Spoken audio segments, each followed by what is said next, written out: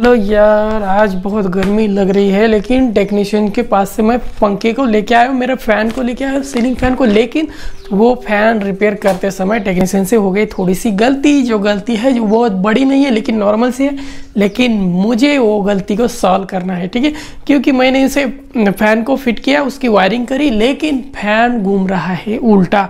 मतलब नीचे हवा जो छोड़ने वाला था तो वो ऊपर हवा छोड़ा है मुझे लेकिन मुझे नहीं लग रहा है उसकी हवा, ठीक है? लेकिन उनसे गलती क्या हुआ है वो भी आपको मैं दिखाऊँगा और आपको वीडियो पर बने रही अगर आप मेरे चैनल पर नए हो तो मेरे चैनल को लाइक, शेयर, सब्सक्राइब करना भी ना भूले। ऐसे टेक्नीशियन वीडियो मैं आपके सामने लेके आऊँगा, जो कि घर पर आप इसे करते हो, सकते हो रिपेयर।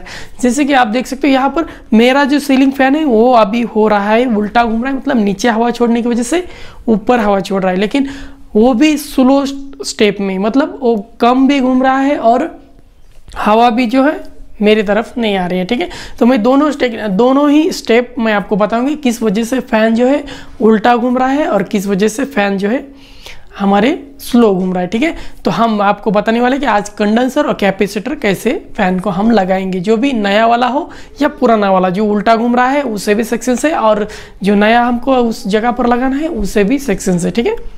तो शुरू करते हैं। आज की वीडियो को ले मैं फ़ैन को आपको दिखा देता हूँ। भाई, फ़ैन की तरफ़ मैं अपने मोबाइल को डायरेक्शन को घुमा लेता हूँ ताकि मैं आपको समझा सकूँ कि भाई, क्या प्रॉब्लम इसमें आ रही है, ठीक है? देख सकते हो, यहाँ पर मैंने फ़ैन को ऑन किया है, लेकिन हवा जो है नीचे कुछ भी नहीं आ रही है, ठीक है?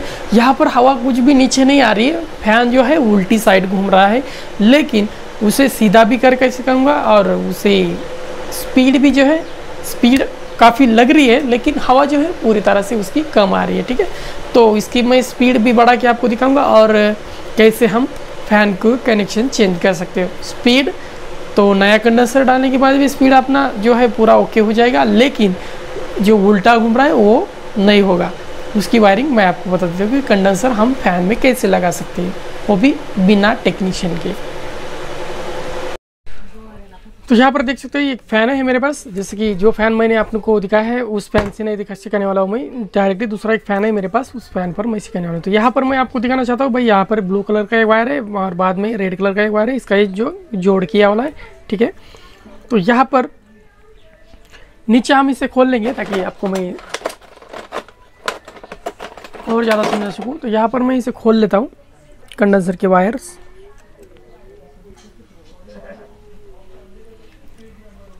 ठीक है, यहाँ पर मैंने खोल लिया है। तो ये देख रहे हो, यहाँ पर कंडेंसर के दो वायर से आप ध्यान दीजिएगा। इसमें से एक रेड वायर है, कंडेंसर के पास लगा हुआ, और दूसरा है ब्लू वायर दूसरा है कंडेंसर के पास। मतलब ये जोड़ी ये जोड़ी ये जोड़ी, ठीक है? किन किन फैनों में तीन वायर रहते हैं, जैसे कि रेड, ब्लू और येल्लो तो इसके, इसमें है चार वायर, जैसे कि दो ब्लू है और दो रेड है, ठीक है? मतलब कनेक्शन सेम ही है, लेकिन सिर्फ़ चार वायर और तीन वायर के फ़र्क रहता है हर फ़ैन में, ठीक है? तो यहाँ पर मैं उल्टा भी और सीधा भी आपको मैं करके दिखाऊँगी, भाई, किस प्रकार से हम कंडेंसर को एडजस्ट कर सकते हैं? अगर ये भी आपको सीखना है तो भाई, सीखो।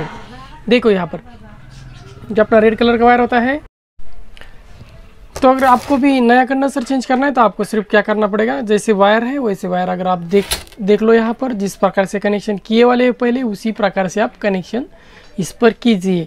और अगर आपके पास तीन वायर वाला फ़ैन है, जैसे कि ये चार वाला है तो तीन वाला फ़ैन है तो ये रेड कलर का वायर है। सो, नीचे लगाइए, चार वाला है तो ठीक है? जो जिसमें रेड का जोड़ी है, कैप्सिटर वाला, और वायर का, ठीक है? इसमें नीचे, जैसे कि यहाँ पर तीन दिख रहे हैं, इसमें से नीचे वाले पॉइंट को हम इस प्रकार की जोड़ी को जोड़ेंगे, और जो दूसरा एक जोड़ी है उस जोड़ी को डायरेक्टली ऊपर साइड में जोड़ेंगे जिससे फ़ैन हमारा है, सीधा घूमेगा, ठीक है? तो मैं आपको दोनों साइड से चला के दिखाऊँगा। तो फ़र्स्ट में ये देख रहे हो, यहाँ पर प्लग है, ठीक है?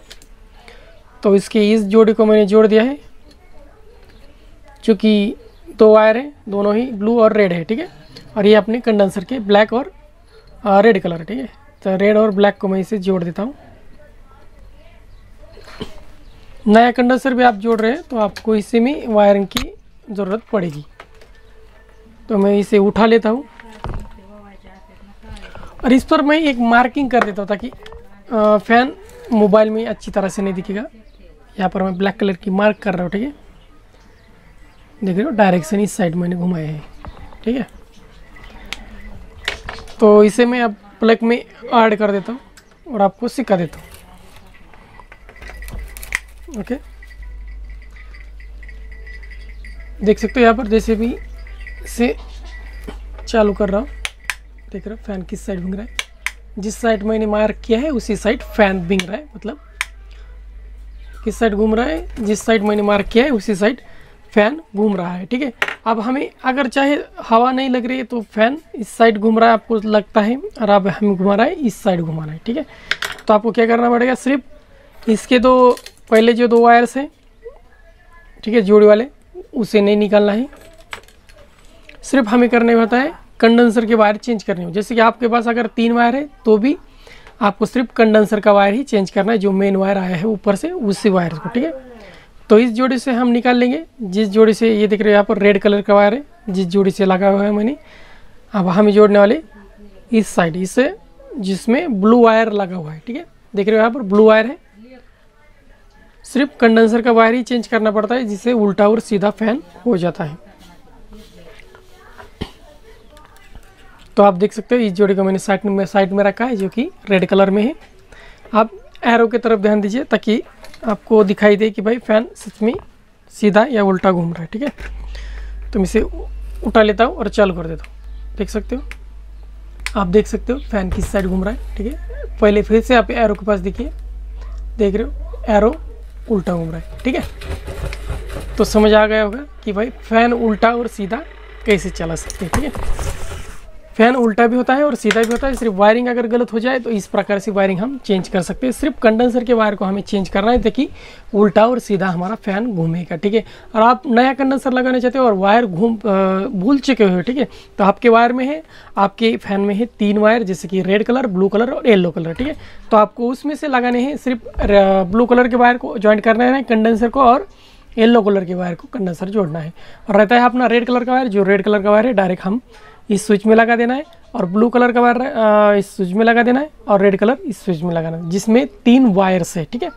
और जिसमें अगर रेड एक, दो रेगुलर कलर है, जैसे कि डबल रेड और ब्लैक, सिंगल ब्लैक और डबल रेड, और उसके बाद हमारे पास आते हैं कि जैसे कि डबल ब्लैक और सिंगल रेड, इस प्रकार के भी फ़ैन बहुत सारे आते हैं, उसमें भी आप चेंज करना है, सिर्फ़ दो ब्लैक कलर के जो जो सेम कलर के वायर्स है उसे हमें कंडेंसर को ज्वाइंट कर देना है। और जो रेगुलर एक सिंगल अलग कलर का रहता है उसे हमें डायरेक्ट अपने आने वाला फेस वायर को ज्वाइंट कर देना है ठीक है? जिससे आपका फ़ैन है उस कंडेंसन के थ्रू आप उसे एडजस्ट कर सकते हैं।